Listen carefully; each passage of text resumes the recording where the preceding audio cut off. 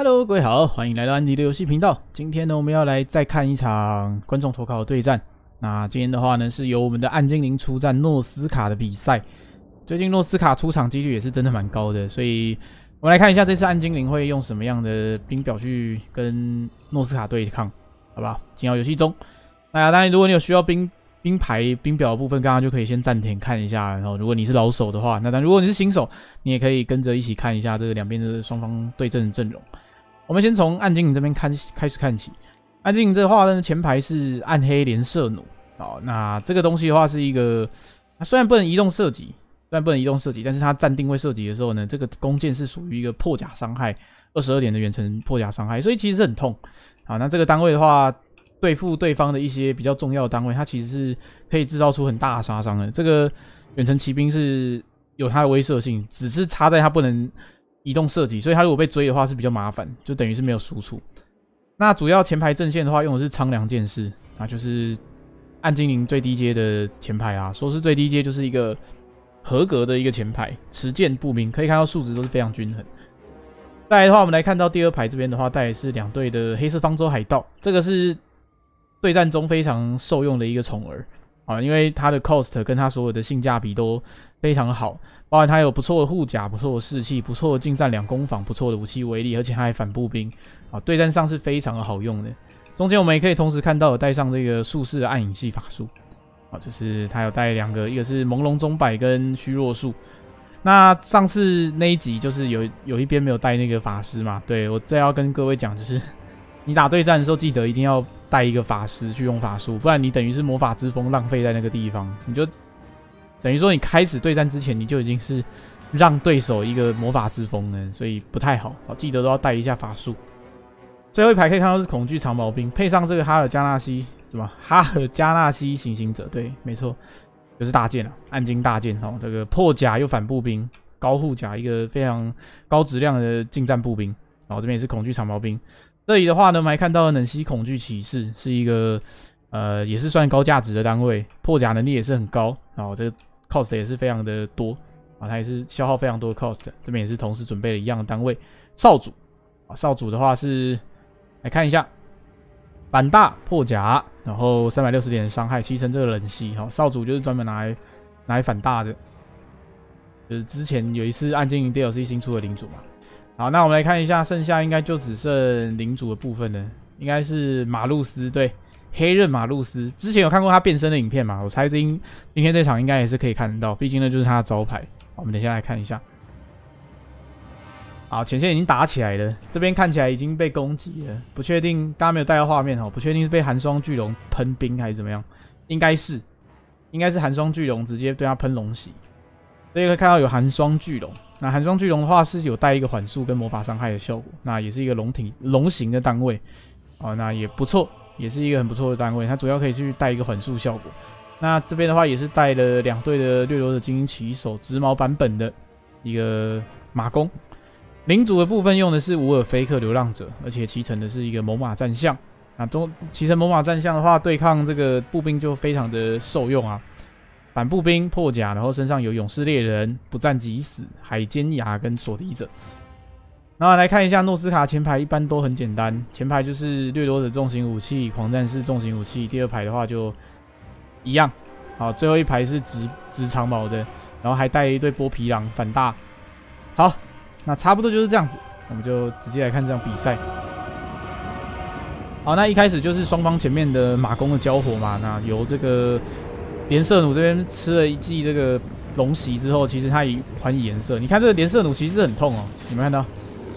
他打出的伤害是高这个精英骑手非常多的，所以如果暗黑骑手是没有人在追逐他的情况下，你让他站定位、站桩射击的话，他制造出来的伤害是非常可观的。所以记得还是要去阻止他一下。他默默的在后面射击你的单位的时候，是真的很痛。啊，这也是暗精灵一个蛮强的一个弩弩兵的单位，因为他本来他的暗黑弩手就也是破甲剑嘛，拿弩的都是破甲，拿弓的通常没有，那木精灵除外。木精灵就是规格外的东西，所以对战打木精灵也是确实很难打。好，这马路斯抓到了一个侧边冲锋的机会，然后寒霜巨龙刚刚也是喷了一口龙息，马路斯进来设法阻止这边的掠夺者冲锋，但是诺斯卡的波皮狼也是随之冲了进来，来抓这个马路斯寒霜巨龙下来，来这边做一波攻击，协助攻击对方马路斯的领主，有可能他会做变身哦。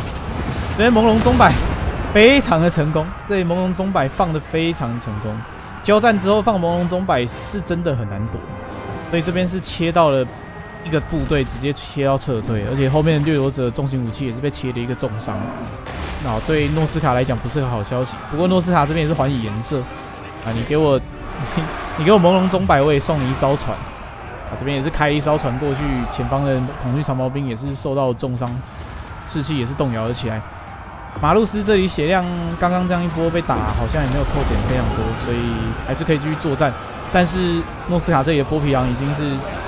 陷入了撤退了，啊，这个杀伤力还是太大了。寒霜巨龙退出了刚刚领主的战场之后，来这边阻止苍凉剑士，啊，在那边单抓。诺斯卡这里的一队掠夺的狂战士已经撤退了，这边又送了一个朦胧钟摆，虽然没有砍到非常重伤，但是也是削减了不少的兵力。两次的朦胧钟摆都给诺斯卡带来了莫大的打击。这里的话，寒霜巨龙有一个很不错的攻击环境。这些龙袭这样喷过来之后，因为暗精灵的部队非常集中，所以这边喷死一个单位，还不错。好，寒霜巨龙下来，但是自己的乌尔菲克这里好像已经不太行了。乌尔菲克这边好像要率先的被抓掉了，有点有点可惜啊。乌尔菲克感觉没有做到太多的事情，就就死掉了，已经直接阵亡了。那诺斯卡在这个时候损失他自己的领主的话，士气感觉有点堪忧。剩下寒霜巨龙在这边奋战，可是，一只寒霜巨龙要打这么多的精锐单位，感觉不是那么容易。不过看起来上面战力评估还是五五对开的。我们来看一下这个诺斯卡这边还有没有什么机会可以再做一波逆转的逆转的契机。但是苍凉剑士，苍凉剑士这个还有盾牌啊！你看他的盾也是银盾啊，扛在前面。标枪猎人竟然还在射，他就已经是有点操作失误了。这个时候不要再射这种有盾牌的单位了，去射后方的这些黑色方舟海盗可能也会更好一点。有马路斯好像这场也没有变身到啊，完全不需要变身，就直接一般的部队就冲破他。不过这里寒霜巨龙还是下来的坚韧作战一波，士气也还没有被打崩，而且寒霜巨龙也还是一个龙嘛，配上后方的猎人。掠掠夺者猎人的标枪的话，看看有没有机会。结果果然还是不太行。马路斯配合这些步兵过来杀的话，寒霜巨龙还是撤退的非常快。这里也是直接向后撤退了。那诺斯卡这边的话，只剩下这里的波皮狼还有这两队。那暗精灵整体看起来军队是比较健康啦，可是其实比较健康的也就剩恐惧长毛兵了。我们也不排除这个。寒霜巨龙回来，如果可以针对这些血量少的单位去做一个士气打击的话，他们也是会撤退的很快，好吧？OK，这边还是有成功的维持住士气，没有直接退出场外。但是中间的情况呢？诺斯卡的主要军队其实也是也是 伤的非常重的，这里要打还有少主，还有马路斯，而且马路斯也还没开变身的样子，对他的他变身也还没开。所以等一下，其实还有变身可以开，然后变身下去之后又是更难打的目标了。所以看起来诺斯卡应该是很难有什么逆转的契机才对。但是这个寒霜巨龙下来是直接带了一个恐惧的效果哦。那暗精灵这些部队也是直接就撤退，但马路斯这时候也是冲了进来的。我相信马路斯要打这个寒霜巨龙应该是没有什么问题。哦，要变身了吗？好，没有，他那个只是技能的特效而已。好，没问题。马路斯把寒霜巨龙给收掉。那诺斯卡损失了一个最大、最高价值的单位的话，这个士气应该就是没办法维持了才对。因为剩下的部队都是步兵嘛，那这边又血量又这么的惨，然后暗境这边又还有连射弩的一些些的弹药，这边还可以对掠夺者造出不错的伤害。而且马路斯还有这个少主也都还在，术士啊，术士也还在，少主也还在，所以都还可以直接利用事务官的这个攻击作战能力，直接去打这个部队。所以我看诺斯卡还是没什么希望啊，就由暗镜拿下这场比赛。好那就感谢投稿。那这一场比赛的话，是由我们的暗精灵获得了胜利。那其实我觉得诺斯卡这里还是 前排摧毁的太快了，吃了两次的那个朦胧钟摆还是太伤了，而且自己的领主在面对这个组合的时候，感觉也很难活着。